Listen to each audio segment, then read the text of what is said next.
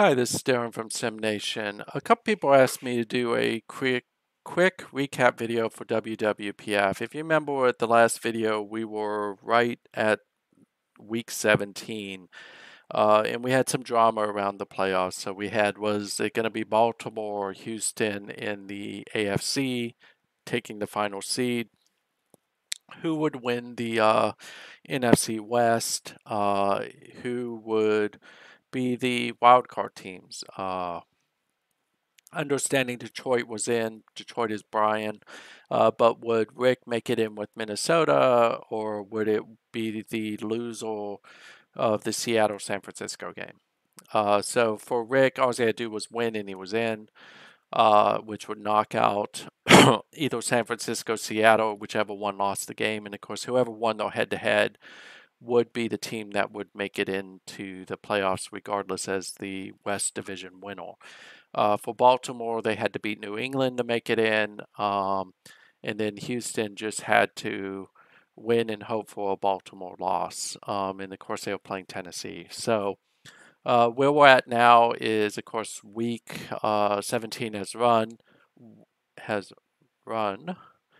Baltimore beat New England. Um, and to make it in, and they won 38-31. Uh, some last minute heroics. Uh, will they scored um, essentially 10 points in the final minute, two minutes, uh, to win, mostly on the arm of James Long, who is the rookie quarterback who's had a really good year this year. Uh, so what that meant for, um, unfortunately for JP at Houston, it didn't matter. Uh, once Baltimore won, they were in as the last uh, at-large team in the playoffs, and they would get to play New England again. Um, versus uh, Jacksonville would play New York, and of course Oakland and Pittsburgh both enjoyed a bye. Uh, on the flip side, uh, Minnesota had to beat Green Bay. If they beat Green Bay, they were in regardless of what happened uh, with San Francisco or Seattle. Um, and if they won but Detroit lost, then they would come in as the five seed, whereas Detroit would come in as the six seed. I think I got that right. Uh, the two at large, the two wildcard teams, Minnesota would be the higher ranked of the two. Uh, and Detroit, of course, had to play Oakland, and Oakland beat them. Uh, so for Minnesota and Rick, um, who's had a really good year, by the way, uh, they beat the Packers 34 to 10. Um, not a big shock, though, uh, given that the um, Vikings are definitely the better of the two teams. The shock probably is how he did it, which was through the joint running backs of Enos and Taft, which I think is starting to become a trend for Rick um, late in the season, is turning to his running game uh, to try to help him win as the weather gets worse uh, up in the north. Uh, Brian's had a really good year. Um, lost to Oakland. That doesn't say anything bad about Brian or Detroit. They are a good team, as you can see. They had won four straight before uh, that loss, including beating Seattle, who's a pretty good team. Uh, so based on those results, these two teams were in, and then of course San Francisco beat Seattle, which put them into the playoffs. Uh, and um, Ford didn't have the best of games, but the fact is, is they were still able to win. And it, I mean, it was really all uh, San Francisco in the first half, and there was all Seattle in the second half. But unfortunately, um, they just weren't able to close the gap. This two-point conversion failure here probably uh, really doomed them quite a bit. Um, so but still, really great season for Spoof, uh, who's the Seattle coach, and really good season for Stewart. So that put us into the playoffs, uh, where you had um, Philadelphia coming in as the four seed. You had San Francisco coming in as the three seed, which means San Francisco got Detroit, Philadelphia got Minnesota. Um, because I already have the results up, uh, what I would say is um, going into this game, Minnesota was my favorite uh, over Philadelphia just because Minnesota's a better team than Philadelphia at this point. Um, so I expected it to be close. Uh, San Francisco versus Detroit, too close to call. Wouldn't call it uh, because I think they're both really good teams. Brian has shown himself in his first season as being a really good coach. Uh, and then, of course, Stewart, anyone who follows SNCFL or this league knows I think highly of Stewart. Um, on the AFC side, uh, I don't, again, Baltimore getting past uh, New England twice in a row is a tall order. Kevin's a really good coach. he's progressively gotten better and better every season. I know he's happy about making the playoffs.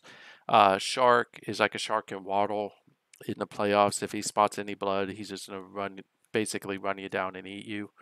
Uh, and I think that's what's gonna happen here. Um, uh, I don't like Jacksonville's chances against the Jets. Um, I know Starfinder has upset people in the first round before. He knocked off Oakland like a season or two ago.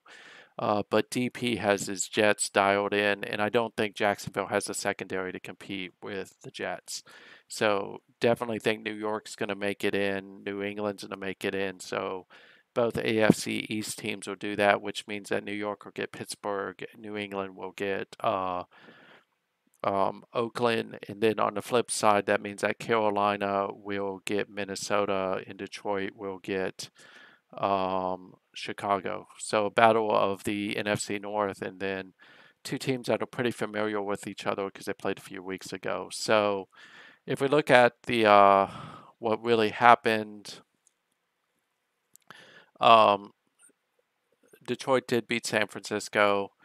Um, largely they kept uh, Ford in check, which is no small order. I mean, Ford is a special running back. They kept him over 100 yards. That doesn't happen very often at all. Uh, and then, of course, Rice, who's in his second season, often overlooked out of that quarterback class from two seasons ago, uh, had a really good game and definitely helped Detroit to make it to the division championship series.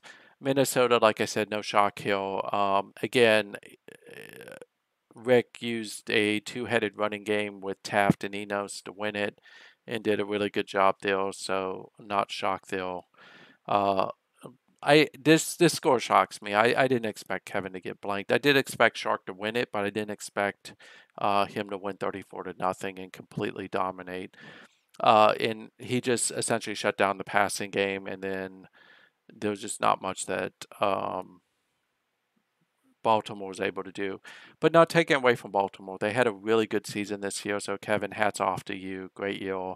Um, and then of course Stewart, hats off to you. You really came back to get into the playoffs after a really abysmal start. Uh, had a good year winning the NFC East, um, and we'll see what he does in the draft. Uh, and then, of course, um, Spriggs just went off. Uh, again, Spriggs to me is Dan Marino. Um, he's just a phenomenal uh, quarterback. He just hasn't won a championship. So, um, but definitely went lights out on them, and Jacksonville's secondary just can't keep up. I mean, 18 of 28, 408 yards, five touchdowns, one interception. I, I think if I remember correctly in this game, Martin had like two receptions for two touchdowns and 109 yards.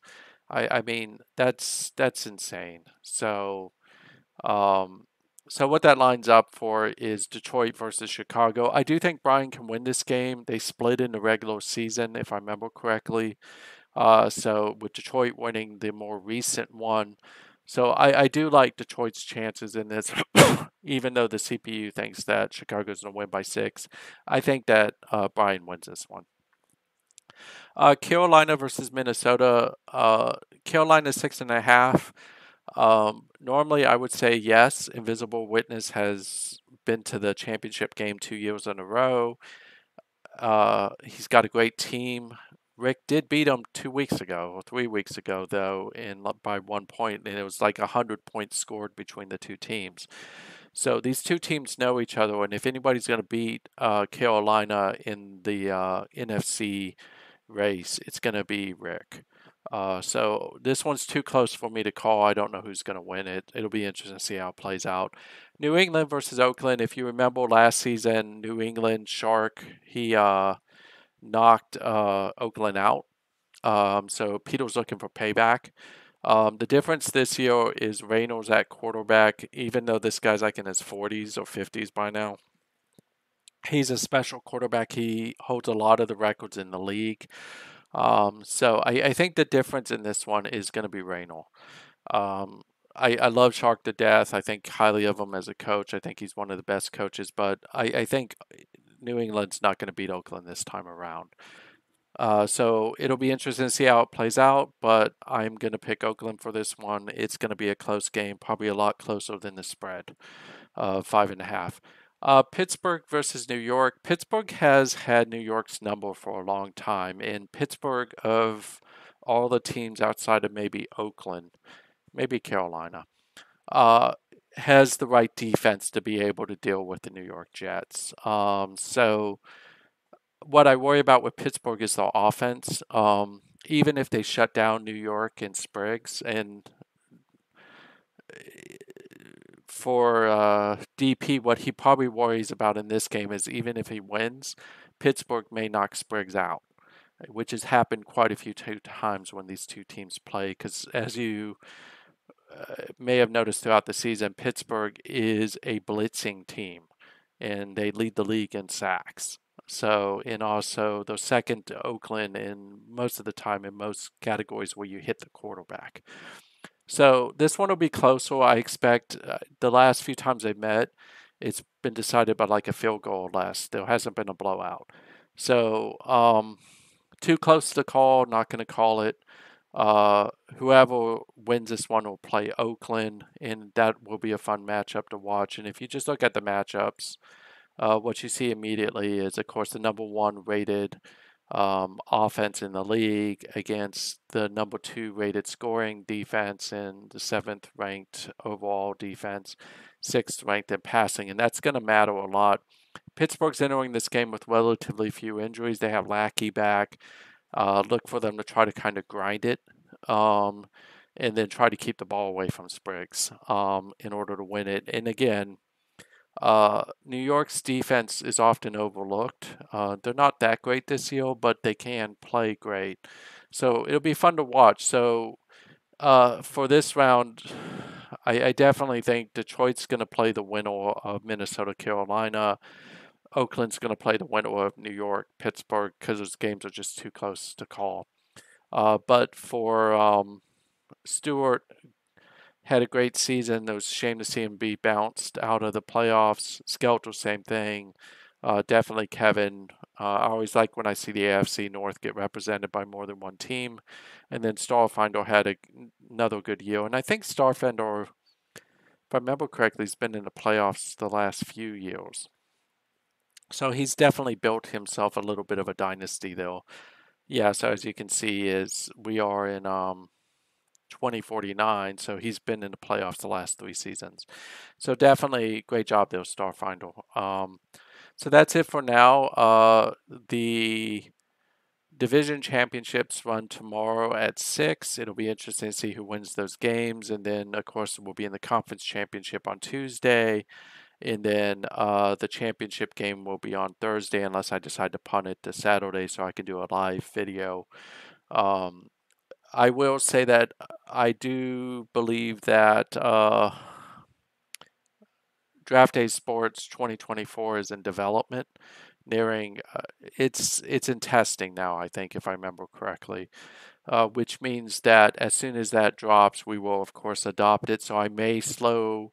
I, I may try to figure out when it's going to drop, and then I'm just going to probably um, try to align the season flip against that now, unlike the college game, I can probably allow us to flip and then convert um, because I've done that before. But when it is released, within like a week of its release, we will adopt it within WWPF.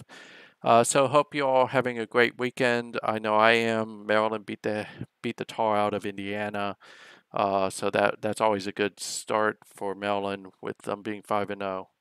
So uh, have a great night and hopefully you like this video. And if you do or you want me to do other videos, let me know and talk to you later.